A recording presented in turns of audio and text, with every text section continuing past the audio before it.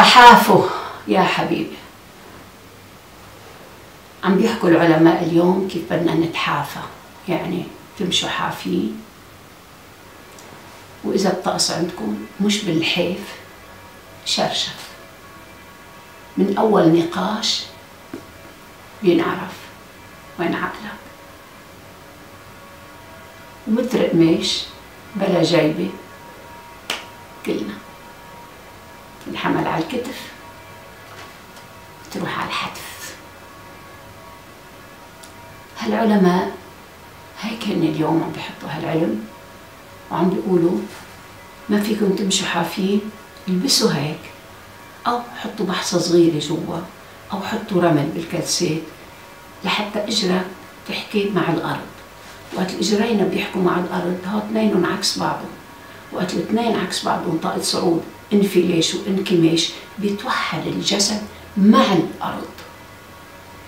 لحتى نقدر نرد هاي الحرب العالمية الثالثة شوي.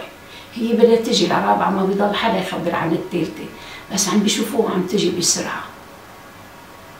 هيدا شعب الله المختار اليهودي عملته براسه مثل ما بتركب سيارة عم بركب بني آدم. هلأ حطوا محامي وبلش المحامي يفوت على العدلية بإسرائيل. محامي روبوت كلهم شايفينه روبوت. لأنه بهالمحامي حطوا له بالمكانات اللي جوا. كل شيء بالقانون موجود. أحلى من المحامي الحقيقي. بلش يحكي المحامي ال robotologist. كله. وهلأ عم بيحطوا بني آدم ما بقى تعرف الحقيقة. مثل البلاستيك. أنا حاطة زهور بلاستيك بالبيت. لحي مثلا لحتى تعرف إنه البلاستيك والحقيقة بتتناغم مع بعضها إذا إنت نواياك قوية.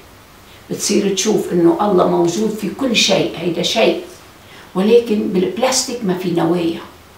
هلأ عم بيحطوا اسمها يوتينيسيا عم بيحطوا قولوا لي from medication to meditation.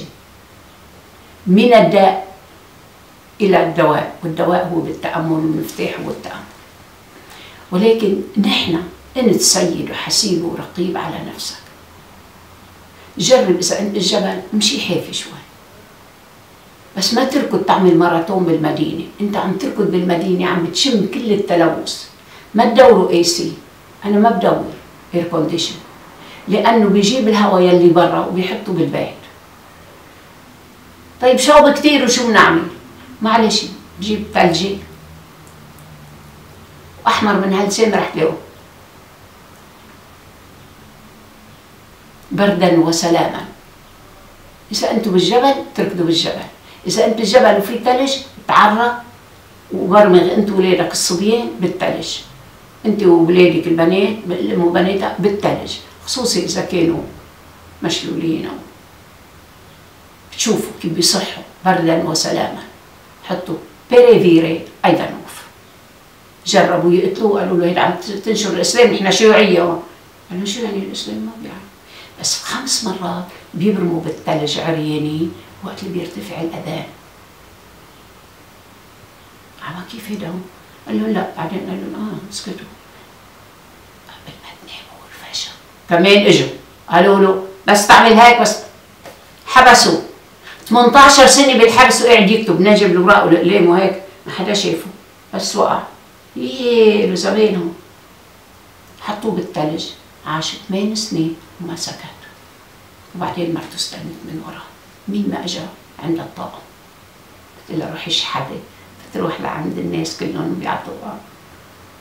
بيعرفوا هذا بيعطيها مصاري هذا بيعطيها أعشاب هذا بيعطيها أكل بيعطيها رغيف خبز. رجعوا كلهم يعيشوا الحياة الطبيعية. بيريفيري أيفانوف موجود بالكييف هلأ مرته. وعمران أيفانوف بجنوب فرنسا 18 سنة قال له أنا ما بروح الحرب. هرب وجا قعد هونيك لحد هلا بعده عايش صار كبير بالعمر جسديا وكبير ما بيقتل ولا شيء عاملين له حماية كلنا ونحن له لحافظون.